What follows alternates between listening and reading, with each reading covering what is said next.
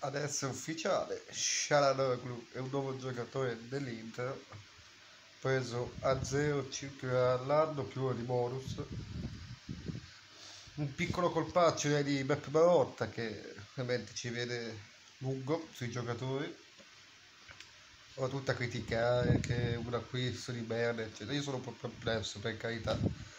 Ma come ora non ci sono soldi. O vai sui giocatori a zero oppure resti con un buco a centrocampo perché Eriksen al 100% non giocherà più in Italia oppure dovrai aspettare 6 mesi prima che ritorni o vai sui giocatori a zero oppure non compri nessuno. Quindi è stata una scelta intelligente dalla parte di Beppe Marotta di comprare un giocatore a zero che ha diciamo le stesse caratteristiche di Eriksen per sostituirlo ma ci sta.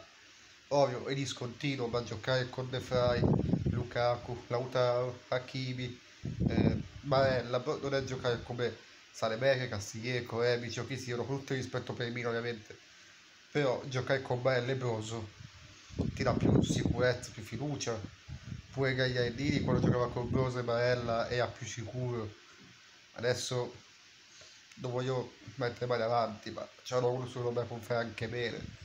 Alle Vercusa a me piaceva, a più buono di Milan, è calato perché tutte le critiche, con tutti i tutti che hanno dato perché è discontinuo, un po' anche i giocatori ci rimane male.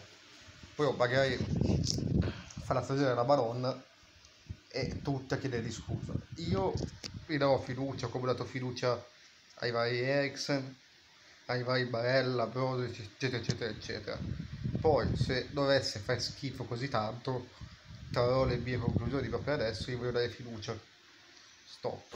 Uh, quindi che dire, benvenuto Hakan Shalanoglu, eh, sperando che tu possa rinascere, perché anche mentalmente, perché sei un ottimo giocatore, ottime qualità, ovvio che all'Inter ti, non ti chiediamo il compitino, ti chiediamo di fare molto molto di più anche perché giochi la Champions, giochi una squadra che ha vinto lo scudetto, quindi caro Ciala, devi darti da fare. Vabbè, io vi saluto, benvenuto ad Hakan e sempre Forza Inter e Italia.